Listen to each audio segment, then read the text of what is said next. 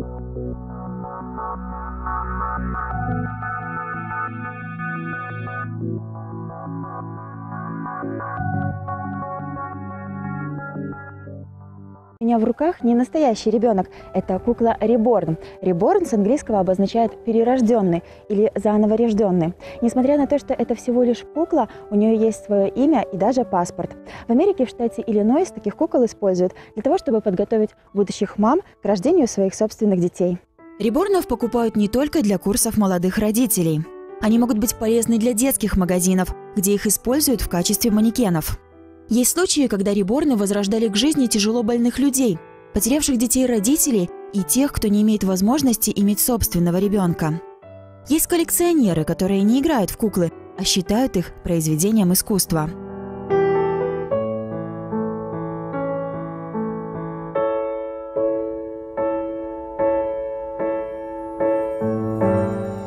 Есть клиенты, которые, например, а, как коллекционеры. Они рассматривают это как какой-то вид искусства.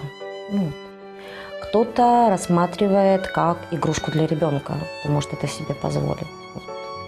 А кто-то как талисман, кто не имеет детей, вот, обращаются и просто, ну, как талисман. Вот. А есть э, люди, которые от одиночества. Вот. Кто-то не, ну, вот как одна клиентка есть у меня, она говорит, я не могу собаку, мне нельзя завести собаку. Хочется какой-то просто отдушины. Ну и он говорит, есть кукла. Ну, как-то вот оно лежит, ну, как-то тепло, говорит. Внешний вид куклы Реборна максимально, насколько это возможно, напоминает живого младенца. Процесс создания куклы называют реборнинг, а художников кукол – реборнеры.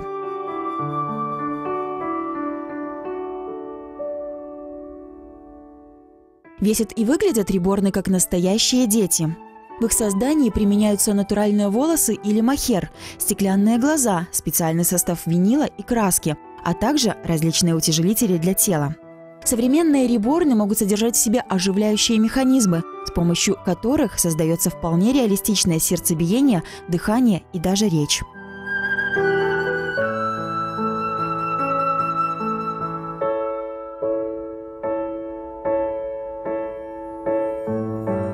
А сейчас уже можно и даже вставить такой механизм сердца. Они могут огукать, и они могут нагревать. То есть они теп... всегда теплые. Ну, это... Но у меня таких нет. У меня больше, конечно, коллекционеров. Наталья – мама троих детей. Раньше покупала кукол для своей дочери. Несколько лет назад мама и дочь случайно увидели куклу Реборна по телевизору и решили, что она станет достойным экземпляром их домашней коллекции. Мы попросили у моего мужа, чтобы он нам подарил на день рождения, там, на Новый год. Вот. Он говорит, найдете? Ну, он же не знал, что они уже есть в продаже, в принципе. И говорит, если найдете, то пожалуйста. Вот. Мы нашли, сообщили сумму. Он, ну, он так сначала вообще пешил. За куклу столько. Но он говорит э, на меня, а тебе самой что, слабо сделать такую? Я говорю, ну так если я начну делать, надо материалы покупать. Он говорит, сделай, попробуй. Ну, вот так с тех пор и все. Четыре года назад я подарила первую куклу дочери. Так простой спор на слабо стал увлечением всей жизни. Наталья с каждым разом оттачивала свое мастерство. Ведь настоящий профессионал делает такого реборна, которого с первого взгляда можно не отличить от младенца.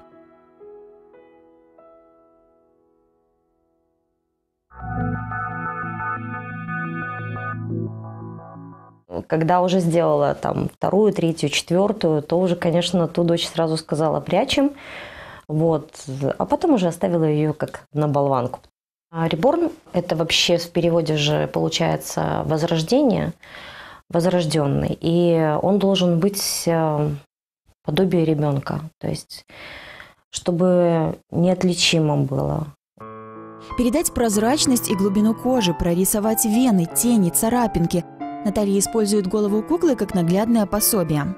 Мастер должен показать то, что фотографы обычно убирают в фотошопе. Работа начинается с получения молда. Это набор из головы, рук и ног. Поверхность заготовки обезжиривается, делаются прорези для носа и глаз. И начинается самая сложная и интересная работа – роспись.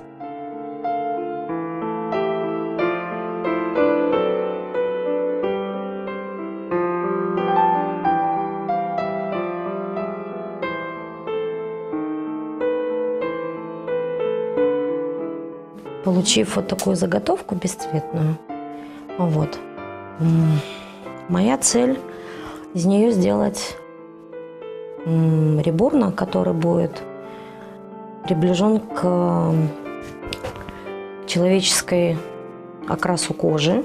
То есть все идет, эм, сравнивается с ладошкой. Сначала Наталья придает коже младенца естественный оттенок.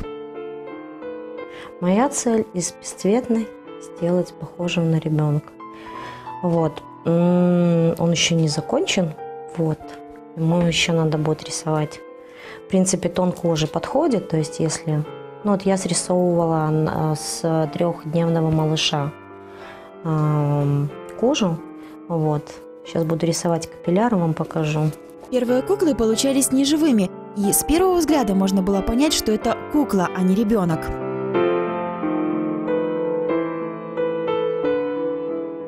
Уже потом я поняла, что просто надо срисовывать живого ребенка. То есть вот берешь фотографию и рисуешь. И тогда все получится. Затем Наталья наносит неповторимый рисунок кожи живого ребенка. Все требует кропотливой работы. Мастер не имеет права на ошибку. Это спонж, это морская губка. Вот. Вот такая морская губка используется для деток, которые постарше, я имею в виду, да, ну, для росписи, когда я делаю реборнов. А уже когда поменьше э, реборны, то используются вот такие, ну, как мы называем, такие вот обор, порванные. Для того, чтобы нарисовать кожу, уходит 18 слоев, вот чисто кожи. Это может быть 18 слоев э, именно краски.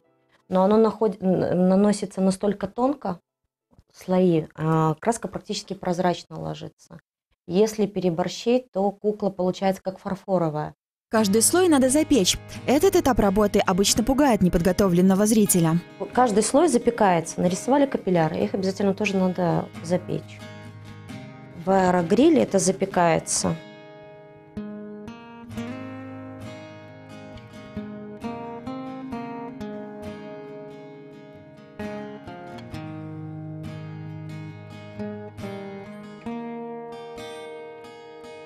Следующий этап – вживление махеровых или настоящих волос.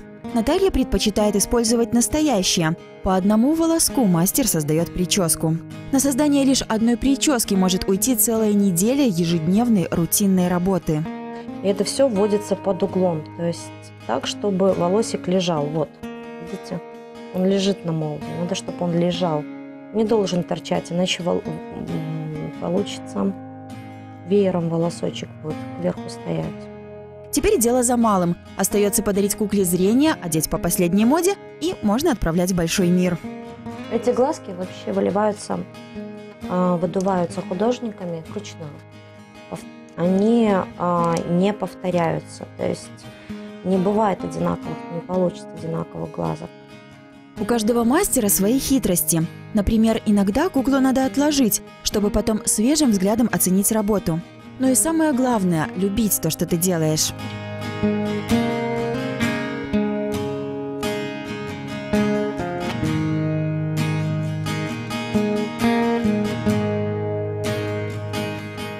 Я отношусь к ним как хобби, которое, которому я отдаю душу. Каждая кукла, в каждую куклу я вкладываю любовь, душу, ну, наверное, как хобби я отношусь, но с очень большой отдачей. Мимика, которую придает Наталья кукле, выражает натуральную эмоцию, как будто реальный ребенок просто на мгновение застыл. Я вам скажу, если не вложить в куклу много терпения, любви, она будет, вот как знаете, немецкий вкус. Это точно. Вот она никакая. Есть, вот, есть красивые куклы, я видела красивая, безумно красивая кукла, но вот она, она ничего не выражает. Можно же сделать куклу э, с уди, э, удивленную, ну вот у меня были вот заказ, был заказ, я делала личико удивленные малютки, но в ней был вот, понимаете, вложена вот, я на нее смотрела, все время улыбалась. Вот она такая и получилась, как вот с удивленным взглядом, но зато вот видно, что вот, ну вот улыбашечка. Вот. Все, что вложишь, то и получишь. В принципе, потом даже когда ты вкладываешь куклу, даже не так краска ложится. Она уже давно привыкла к разным реакциям людей на куклы. Но у каждого свой выбор, понимаете? Кто-то относится к ним как к живым, кто-то относится как к куклам, а кто-то как к ужасу. Я ко всему очень спокойно, у каждого свой выбор. И я уважаю этот выбор.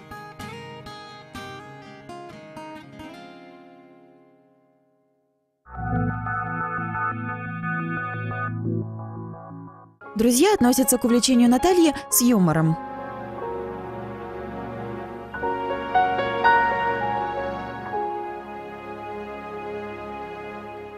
У меня есть э, друзья, которые относятся очень ровно, то есть нравится. У мужа друзья, которые это комнату называют комната Франкенштейна, потому что, ну, как-то оно, особенно если это после застолья, то ну как-то жутковато заходить, ну, для них, вот. А подруги, ну, что, приходят там, пошли посмотрим, какой у тебя сегодня там малыш в заказе, вот. Попереодевать, посмеяться, ну да, пофотографироваться, потом повыставляться фотографии, ну это да.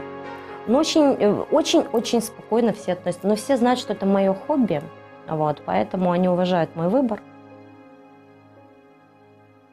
Другое дело, когда с куклами сталкиваются незнакомые с искусством реборнинга люди. Они же не, на вс- не все настолько приближенные к, к реальному ребенку. Ну, видно же, что это куколка. Ну, как-то, понимаете, кто... Вот женщины больше относятся к этим куклам как к куклам. А вот мужчины почему-то, вот я на выставке это заметила, они больше относятся к этому как... Ну, это же вообще вы с ребенка слезали. Вот и женщина подходит, говорит, какая куколка. А мужчина сразу, о боже, какой ребенок. Нет, подождите, это что, мертвый ребенок? И вот они почему-то в сторону мужч... э, э, детей. А женщина кукла. Вот как-то оно вот так. Я на выставке просто увидела. Но больше всего, конечно, и интереснее всего реагируют мужчины. Я обожаю их реакцию на кукол. На выставке это вообще просто вау. Кто-то просто подходит и щу, можно пощупать. А один мужчина подлетел и говорит, вы скажите, это реально кукла? Вот он говорит, я долго стоял сдалека и наблюдал. Можно ли вообще, говорит, подойти, потрогать, взять на руки? Я ему даю, он говорит, коньки мне на босу ногу. Вот знаете, еще на белорусской мове, ну, очень интересно мужчины реагируют, очень, понимаете? Вот. А есть мужчины, которые заказывали на праздники своим женам подарки в виде подарков реборн. Есть. Сами выбирали. Есть клиент, он у меня выбирает э, уже вот вторую. А, и волосы цвет, и глазки. За четыре года Наталья сделала много разных кукол, разных возрастов и характеров. Кукол, которые подростковые, метр тридцать, да, они у нас одна, одну я такую большую делала, вот. Делаю и годик, и полтора, то есть по росту они большие, крупные девочки, и таких делаю. Как и у любого мастера, у Натальи есть творческая мечта. Что бы я хотела сделать, я мечтаю сделать обезьянку. Но пока я еще нет, потому что если вот, например, кукол я срисовываю живых детей, да, фотографирую своих подруг детей, э, со своих срисовываю, то обезьяну мне не с чего срисовать, поэтому пока нет. Пока, но хотелось бы. Дочь говорит, давай сделаем, но пока нет. Нет. На мой взгляд, реборн – это современное направление в искусстве, гиперреализм. Я восхищена мастерством профессионалов, изготавливающих кукол реборн и вызывающих такие разноплановые эмоции в людях.